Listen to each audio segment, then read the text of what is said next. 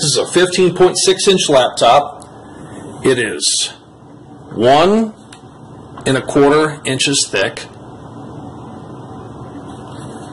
It's got brushed aluminum.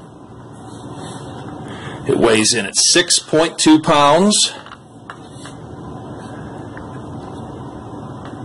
It's got two exhaust ports for the GPU, one for the CPU.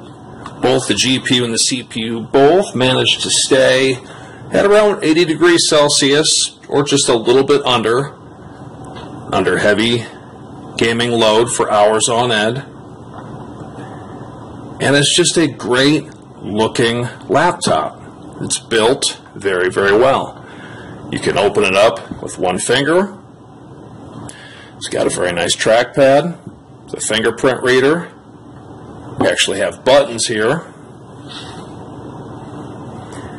And RGB lighting, not individual keys, mind you, they are just in zones. But I really like this thing as I find it to be very well built.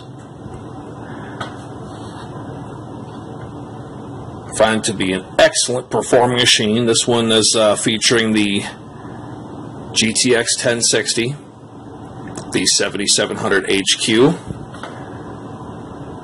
The storage capabilities in here, it'll hold two M.2s. It'll also hold two 2.5 inch drives.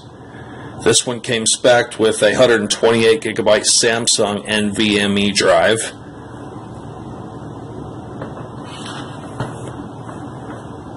The ports, as you can see here, let me see if I can get a good shot. So you're there. We go.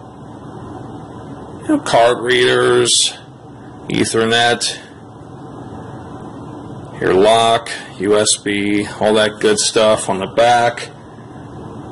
You've got your exhaust port for your GPU, your power adapter, another USB, and on the side, HDMI, USB, all that good stuff.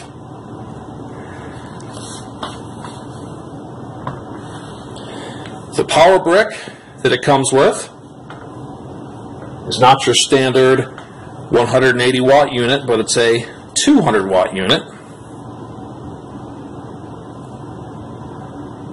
If you can see that very well, but there's, it says 200 watts right there. It's, you know, normal size, about one sixth the size of the laptop. And it does not get piping hot either. I would have no problem having my five year old daughter hold on to the power brick as I'm gaming for hours on end. In other words, it's not going to burn my child. It's safe. It's it's not even hot. It's warm at best. So nice job there. These Clevo-based chassis, in this case, this one was made by Eluktronics. Uh, these can be purchased not only in a few places in the U.S., but all over the, the globe. Um, Eluktronics and Sager are the two main manufacturers in the United States, and these can be purchased, the Sager models at Xotic PC, uh, what else? Amazon, Newegg, the Eluktronics model. Uh, these one here was purchased at uh, Newegg, and these can also be found at Amazon as well. This particular one, again with the 7700 HQ and the GTX 1060. This one had 8 gigs of DDR4 Crucial Ballistix RAM at 2400 megahertz and the 128 gigabyte NVMe drive and 120 hertz G-Sync display. And that type of kit is the Pro X model. If it says Pro X, it has the 120 hertz panel. And these will run anywhere from 1,250 to $1,400. I know that sounds like a lot, but if you were to price out an actual desktop solution, including an NVIDIA G-Sync display, you're probably going to end up spending more than this. This is just a 1080p panel, but at 15.6 inches, this is all you're going to need. the pixel density here is fantastic. And as you can hear, silent. Granted, it's it's unplugged, so the uh, the frequency is going to be running a little bit low here. But I gamed on this quite a bit this morning. Maximum temperature of the CPU was 74 degrees.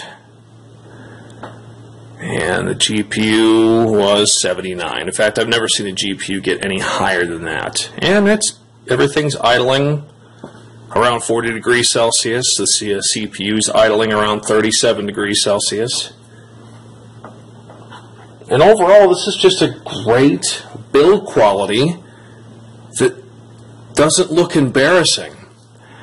And that's been one of my biggest complaints with a lot of these other gaming laptops is that they don't have a multi-purpose. I, I, almost feel like if I'm going to have one of these gaming laptops, that I also need to have my business-oriented laptop as well. And if you're going to have a gaming laptop and a business-oriented laptop, why not just not have the gaming laptop and have a desktop instead? I'm sure there's a few niche solutions out there where somebody could argue and say, well, no, I need both because of this and this, and that's fine.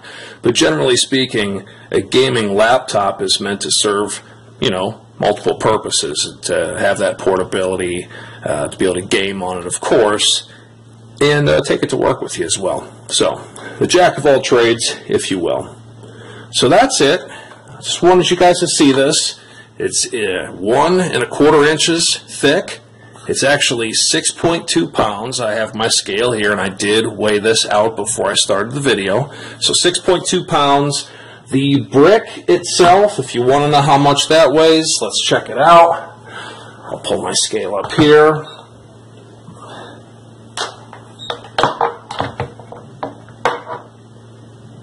Two point two pounds there.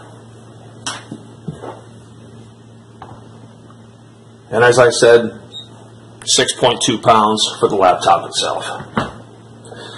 So that's it, my friends.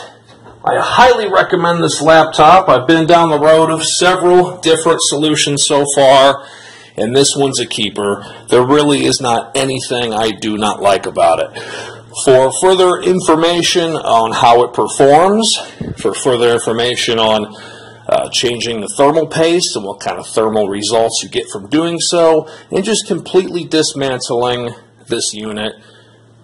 Feel free to have a look through my channel. I have several videos on this particular unit showcasing all of these things.